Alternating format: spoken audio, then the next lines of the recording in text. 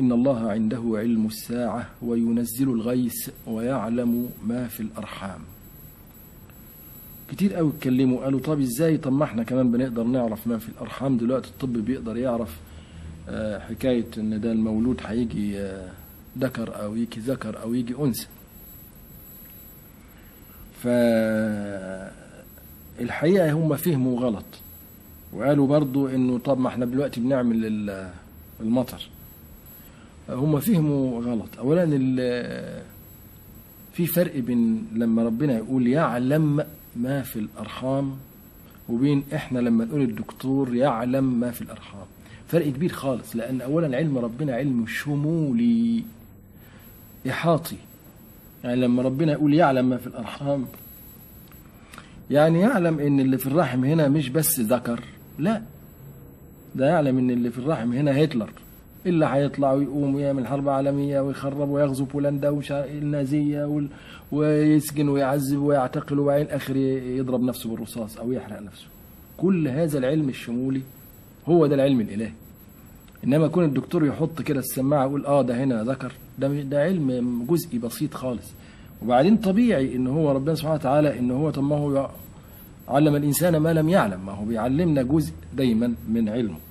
إنما تظل العلم الشمولي الكامل آه، علم الله. وما فيش حد طبعا لغاية دلوقتي لا دكتور ولا فلكي ولا يقدر يحط إيده على رحم واحدة يقول والله ده هنا طالع هولاكو أو هنا طالع واحد هيعمل ويسوي ويقول بقى بالتفصيل تاريخ كامل له. العلم الإحاطي أو الشامل ده آه، ما زال من خصوصية الله سبحانه وتعالى. نمرة اتنين مسألة وينزل الغيث. برضه نفس الحكاية. لما ربنا يقول ينزل الغيث غير لما واحد عالم في أمريكا يعمل رخة مطر وينزل شوية مطر. تفرق. ليه بقى؟ لأن كلمة غيث لها معنى. معنى إن ربنا لما ينزل الغيث معناها ينزل ينزل مطر بكمية محسوبة بحيث إنه يعمل إغاثة مش مجرد رخة لا. مقدر بالظبط لا زيادة فيعمل سيل ويخرب ولا أقل فيعمل جفاف ويجوع لا لكن محسوب فيكون نتيجته إغاثة فيبقى اسمه غيث. وهذا الغيث ينجد بلد. هذه القدرة هتظل قدرة الله سبحانه وتعالى. ليه؟ لأن كلمة غيث تشترط فيها انضباط وإحكام بالكمية المطلوبة بالظبط على قد الناس والبهائم والحقول والمزروعات محسوبة.